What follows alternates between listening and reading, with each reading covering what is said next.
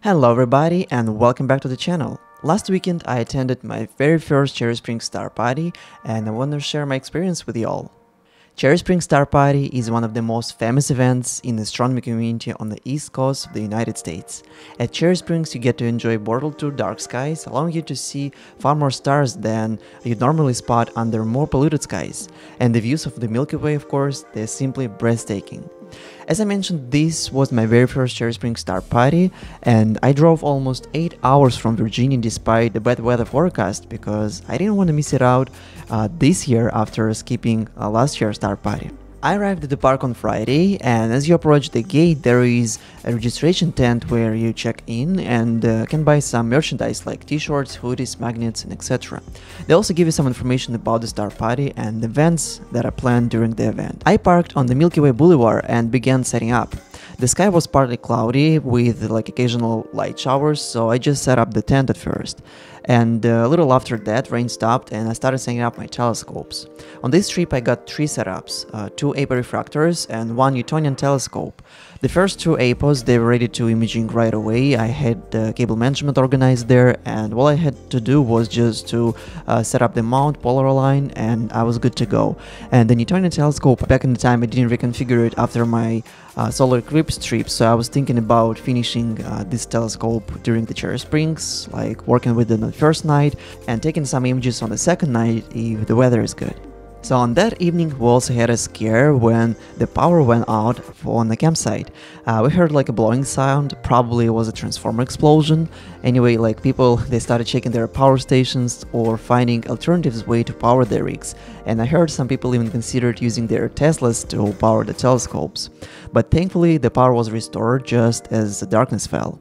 The weather fluctuated throughout the night from really clear skies to complete cloud cover, but I think like 1 or 2 am most people had covered their rigs and few of us including me we stayed up uh, hoping that the skies uh, would clear.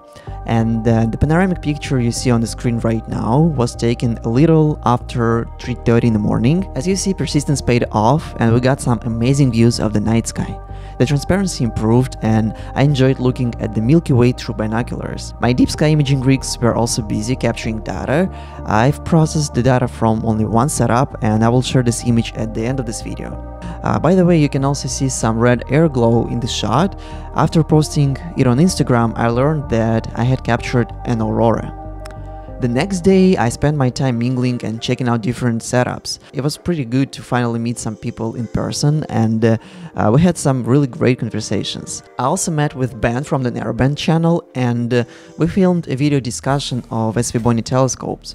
If the video is up on his channel, I will add a link to his video. As the weather forecast predicted clouds and showers for the upcoming night, many people began packing up and I decided to leave as well because I didn't want to pack up early in the morning with rainy conditions so eventually I headed home on Saturday and arrived uh, there Sunday morning.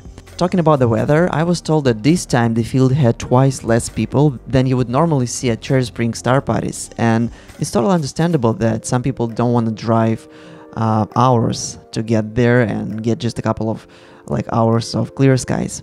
But as I said earlier, that was the first year Spring Star Party for me, and uh, personally, this event was not just about taking good images under dark skies, but the events like this is also a great opportunity to meet people in person, because like online connections, they're always great, but uh, real-time interactions, they is a total different experience and you learn so much by checking out different setups, asking questions, and basically exchanging ideas with other astrophotographers. So yeah, despite the bad weather forecast, uh, this trip was totally worth it. And to sum up, there was a like kind of brief video with a story of me attending Cherry Spring Star Party. Although I only spent one night there, I really enjoyed this event and uh, I'm looking forward to coming back to this place later in the future. If you were there at Cherry Springs, let me know in the comment section how your experience was and if you also saw me, say hi in the comment section. Of course guys, thank you so much for watching this video episode. At the end I have a final picture of the Iris Nebula that I captured using an 80mm APO telescope.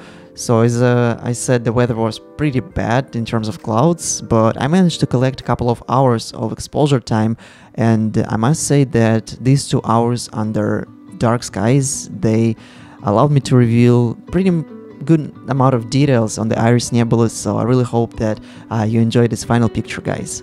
And of course, guys, if you haven't subscribed, please consider subscribing to my channel. Uh, give this video a like so that more people can see it. And uh, I'm looking forward to seeing you in the future videos. But until next time, clear skies, guys.